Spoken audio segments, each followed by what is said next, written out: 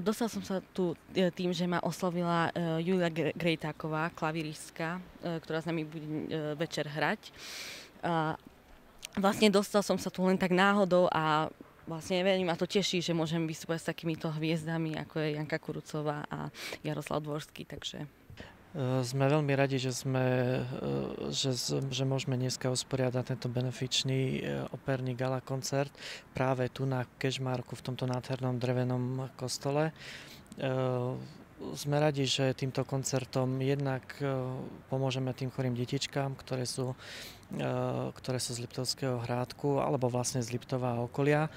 a zároveň, že aj prinesieme do Kešmarku operu ako hudobný žáner, pretože aj cieľom našho občianského združenia je práve e, tento žáner ľuďom predstavovať, prinášať ho do regionov a tak ďalej. V rámci spoločnosti Delu sme sa rozhodli podporovať e, mladých umelcov a preto sme sa spojili s Opera portálom, e, ktorý podporuje mladých umelcov a chce prísť na tú slovenskú scénu. Fond pomoci Deluvis je na jednej strane fond, ktorý chce pomôcť priniesť eh, do regiónu mladých umelcov